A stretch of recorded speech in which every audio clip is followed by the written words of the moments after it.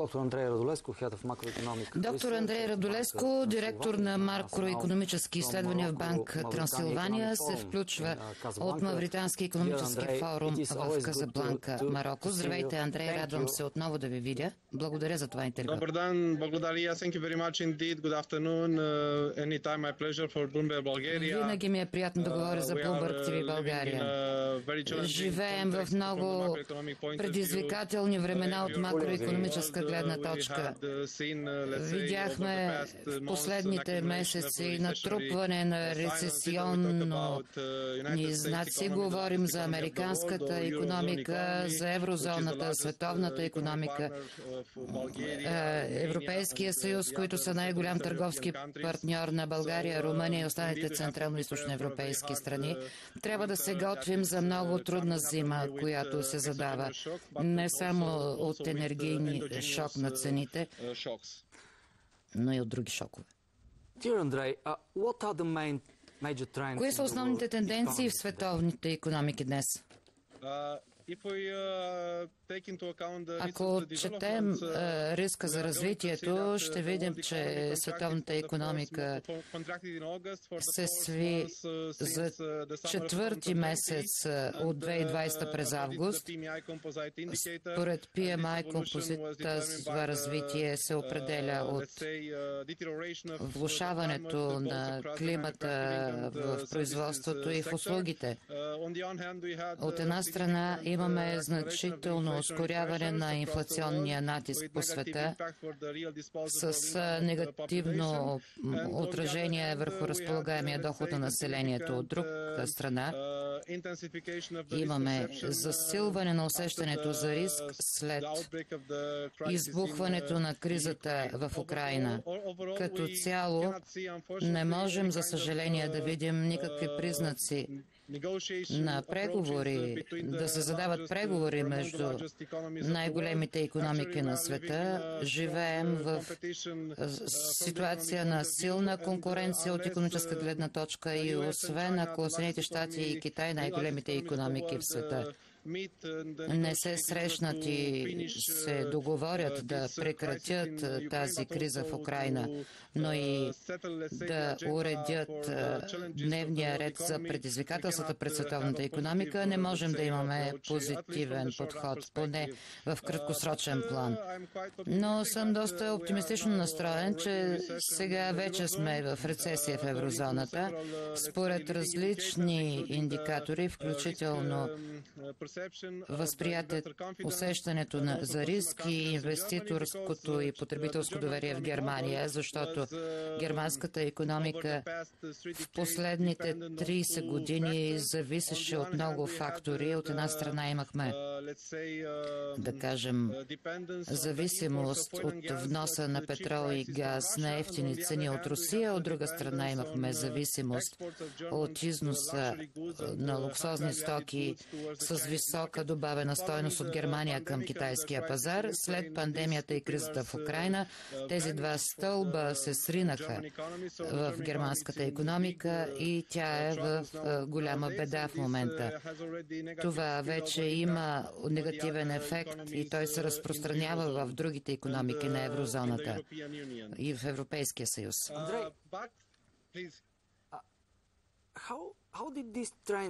Как тези тенденции промениха парадигмата за економическото развитие на Румъния и на България? Коя е новата економическа парадигма? Економиките ни бяха доста добре се представиха като динамика на БВП на глава от населението. Мисля, че трябва да вземем предвид геополитическия контекст, който и България и Румъния могат да използват. Ние сме на границата на Евроатлантическия блок. Трябва да имаме добра визия на границата, за да избегнем политическа и економическа криза. Този подход се потвърждава от факта, че, например, в Румъния за януари и юли имахме повишение на преките чужестранни инвестиции до 5,5 милиарда евро за първите 7 месеца на годината. Затова имам голямо доверие в нашите економики. България влиза в еврозоната. Това е позитивно за економическото развитие във вашата страна в следващите години. Така че трябва да превърнем тези предизвикателства в силни предимства и да увеличим шансовете и шансовете на економиката в Източна Европа, за да ускорим економическата конверсия и да се опитаме да вземем всичко позитивно от промяната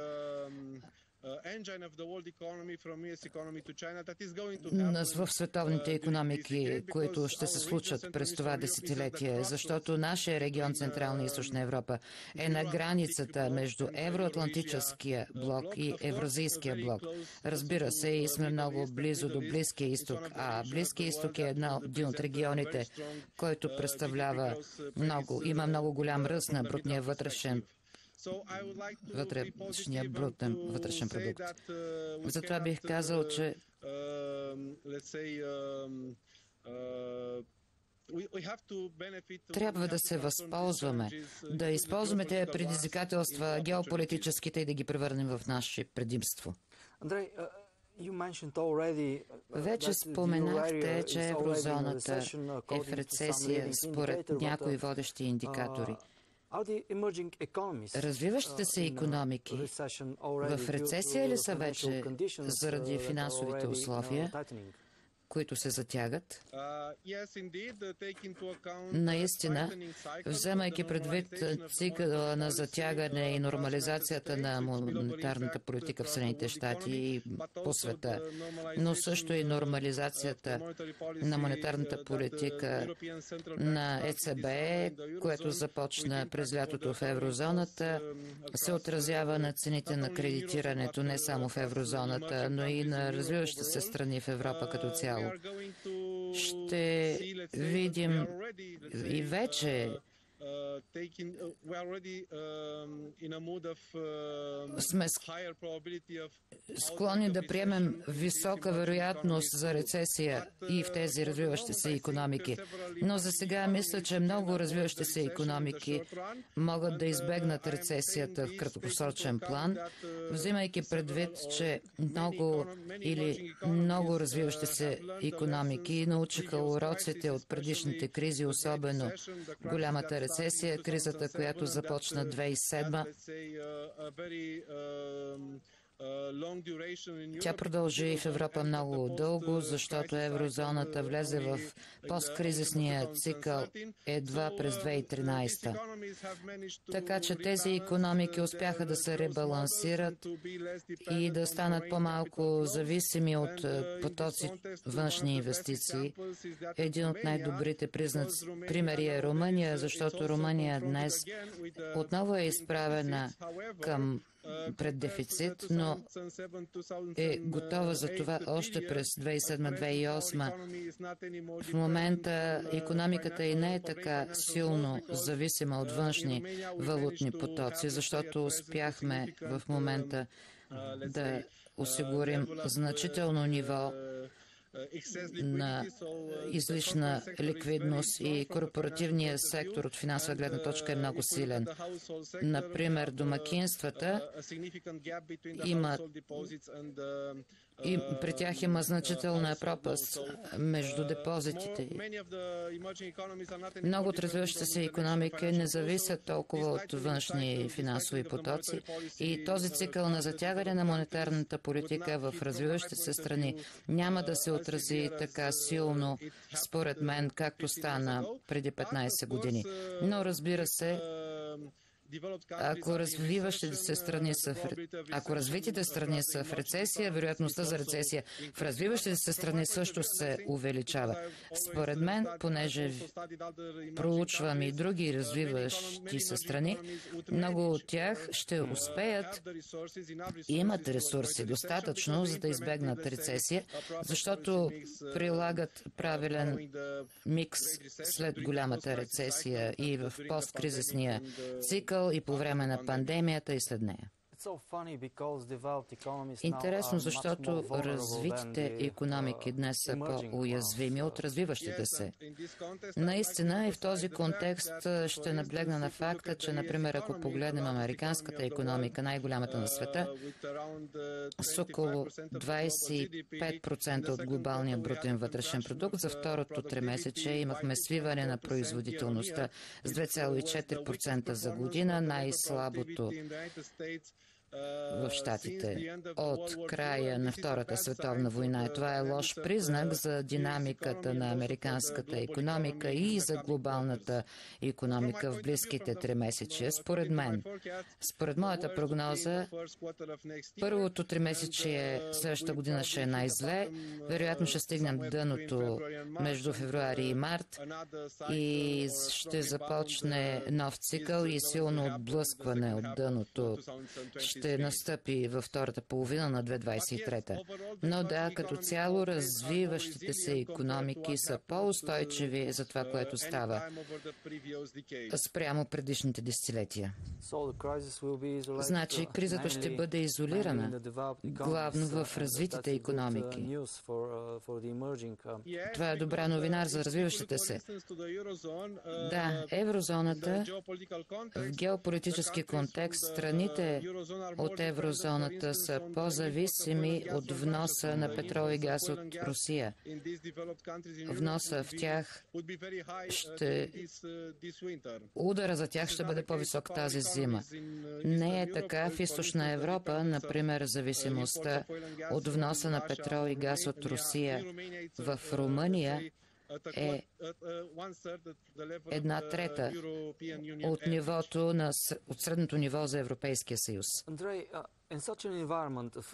В такава среда на затягащи се монетарни условия и по-висок цена на кредита, каква е подходяща фискална политика, която да противодейства на агресивните парични политики от една страна, но да не е проинфлационна? Кои са каналите и инструментите?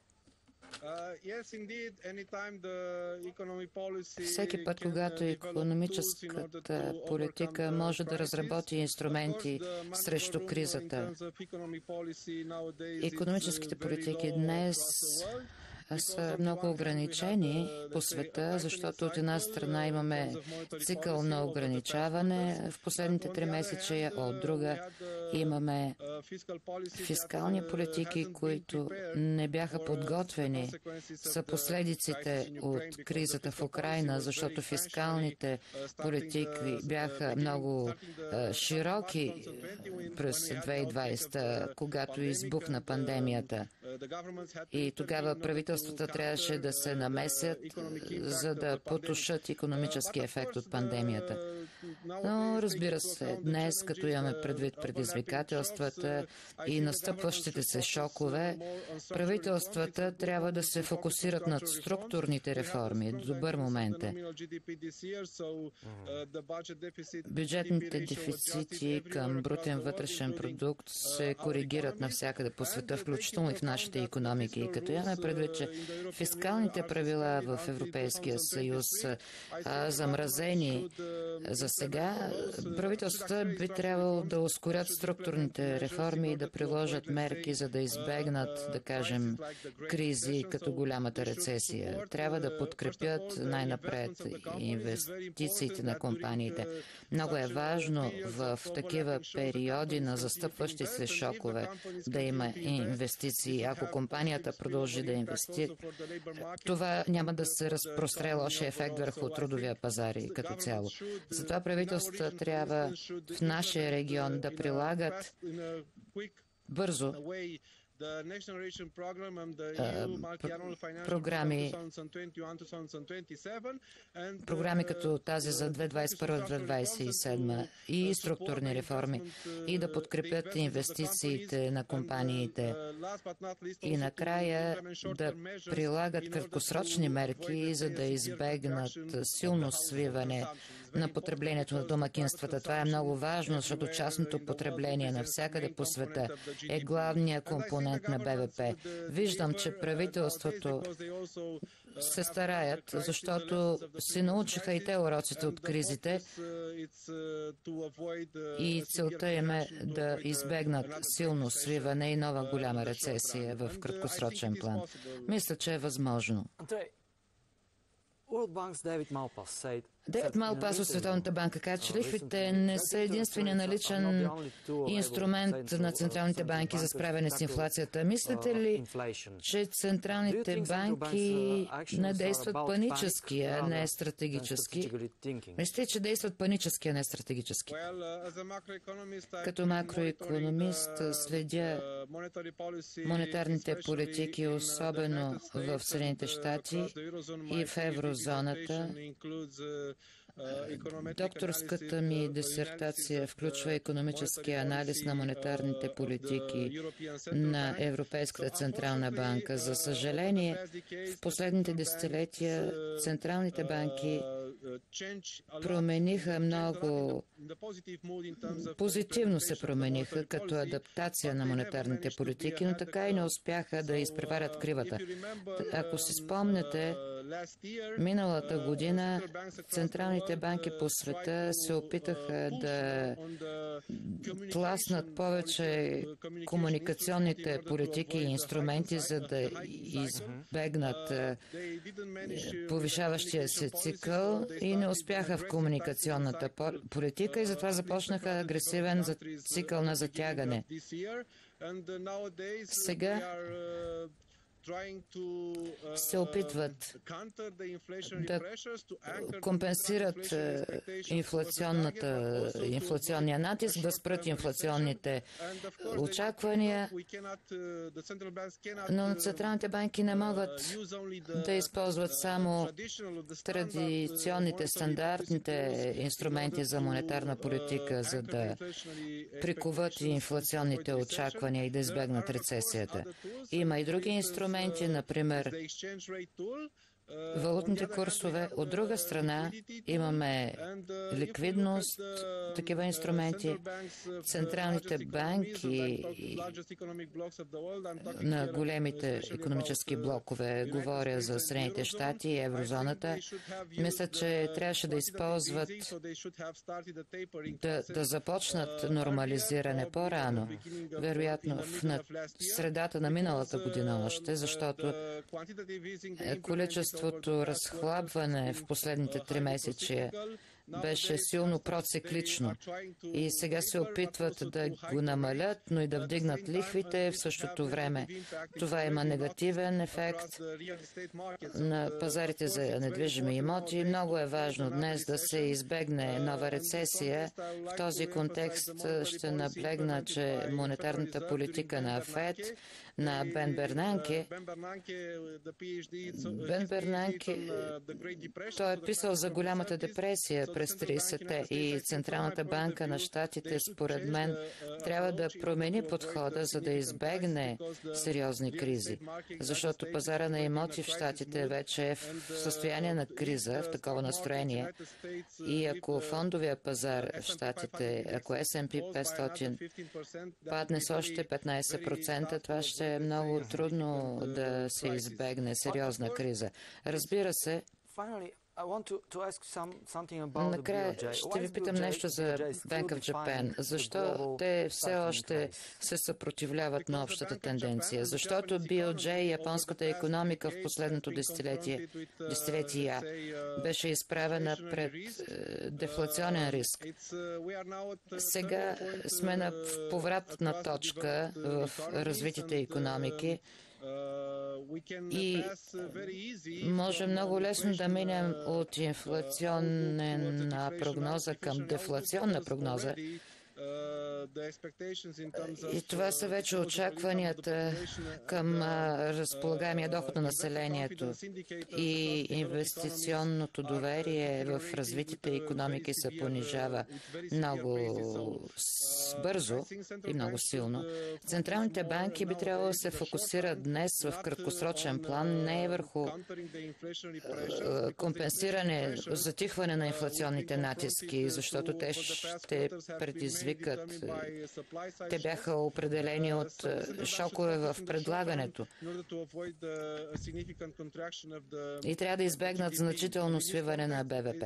В този контекст ще кажа още веднъж, че ако S&P 500 падне с още 15% от сега нататък, ще бъде много трудно за ФЕД да, да кажем, да приложи мерките, за да се противопостави на влушаването на инвестиционното доверие за реалната економика. Bank of Japan, японската економика, вече научи уроците от предишните десетилетия и знае, че и от теоретична гледна точка е по-добре да си в инфлационно настроение, вместо да се изправиш пред дефлационни рискове. От теоретично